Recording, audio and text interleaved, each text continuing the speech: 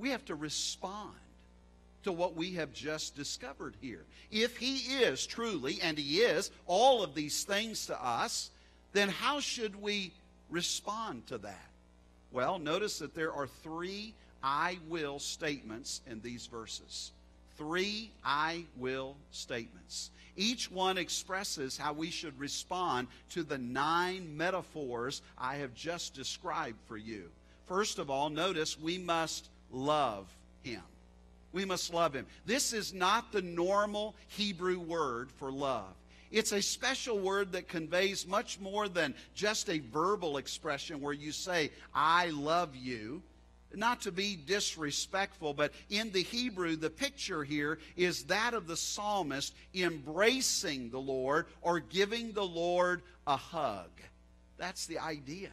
When you think about the Lord being your strength, your stability, your safety, your Savior, your strong one, your shelter, your shield, your security, and your stronghold. You just want to embrace Him and not let Him go. That's the idea behind this. I will love Thee, O Lord. It's where words fail you and you just bury yourself in His embrace. You love Him so much that you're speechless and you just want to hold Him and you want Him to hold you. And then, number two, we must trust Him. We must trust Him. And that's what you find right in the middle of verse 2 in whom I will trust. I don't know what's transpiring in all of your lives tonight, but can I ask you a question? Where's your trust? Where's your trust tonight? What are you depending on to get you through the crisis that you're going through right now? Are you relying on your own strength? Are you relying on your own wisdom or maybe your own plans to, to try to weather the storm that you're going through? Or do you trust God and God alone to sustain you? The psalmist says, I will trust you. Lord, I'm going to trust you, and I'm going to trust you alone. I will trust, is what the psalmist says. Uh, it's not I might trust or I'll think about trusting or eventually I'll get around to trusting. No, he says, I will trust.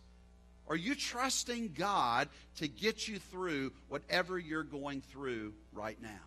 Knowing from past experience that He has always been my strength, my stability, my safety, my Savior, my strong one, my shelter, my shield, and my stronghold. I will continue to trust Him.